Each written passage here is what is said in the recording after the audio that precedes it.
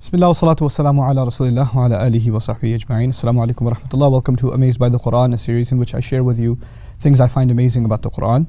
Today, inshallah, uh, I'm going to be sharing with you a comparison between two ayat, one belonging to the third surah and the second belonging to the fifth surah. This is ayah number 52 of Surah Ali Imran and 111 of Surah Al Ma'idah, surah number 5. In both of them, it's very similar subject matter. Once I'll read the ayah to you, you'll see that. فَلَمَّا أَحَسَّ عِيسَى مِنْهُمُ الْكُفْرِ قَالَ مَنْ أَنصَارِي إِلَى اللَّهِ Then finally, when Isa sensed the disbelief from them, Jesus sensed the disbelief from them, قَالَ He made the call, مَنْ أَنصَارِي إِلَى اللَّهِ Who is going to be my aid towards Allah?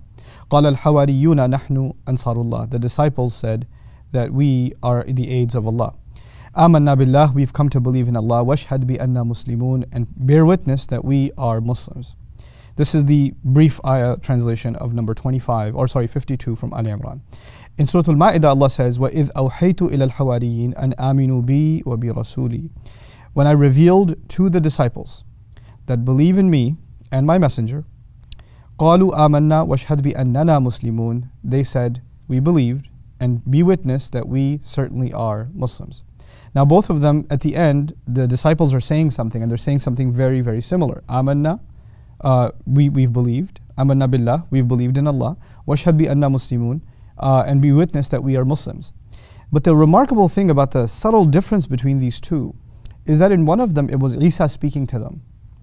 And in the other one, Allah is saying that Allah insp- inspired, revealed a boost in faith of the followers of Jesus on His own meaning Allah Azza wa Jal intervenes into the heart. يَحُولُ بَيْنَ الْمَرْءِ وَقَلْبِهِ أَنزَلَ السَّكِينَةَ فِي قُلُوبِ الْمُؤْمِنِينَ Allah says in Surah Al-Fath, He sent tranquility into the hearts of believers.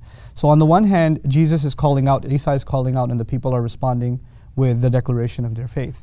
But in the other, actually, it is Allah who's inspiring something in their hearts, and they are overwhelmed by it, and then they're declaring their faith. So they're both declaring their faith, but one in response to the call of a messenger, and the other as a reaction to what Allah inspired in their hearts now the Arabic language when you say anna that we are, that certainly we are. You could say anna or you could say annana. Now, even if you don't know Arabic, anna on the one hand, annana, you must have heard two N's the second time.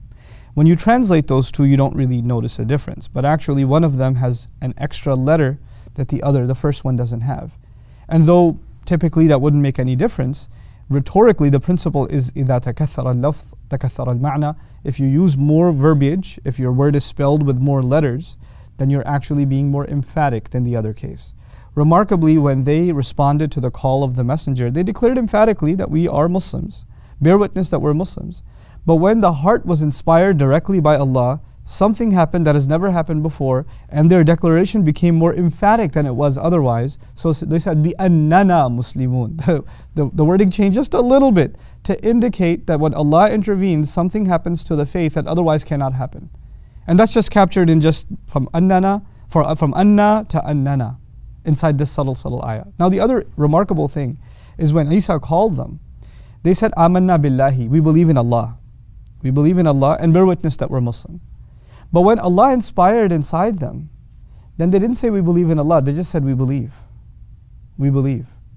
And what Allah is doing here is He's highlighting that when Allah inspires your heart, then every dimension of your faith gets emboldened, empowered. Their faith in Allah, their faith in the Messenger, their faith in the afterlife, their faith that Allah will see them through, all of it, all of it got encapsulated when they just said, We believe. And so, when from every dimension of their faith they were empowered, when they declared their Islam, it was even more emphatic. So they said, Bi annana Muslimun, subhanAllah.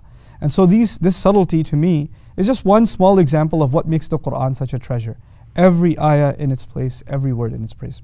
May Allah Azza wa give us an appreciation of His perfect word. Barakallahu li wa lakum. Wassalamu alaikum wa rahmatullahi wa barakatuh. Assalamu alaikum wa rahmatullah. If you enjoyed this video, please do share it with friends and family. If you want to see more videos from this series, click on the box at the top. If you want to see other videos, click on the box at the bottom. And don't forget to hit the subscribe button. Thanks.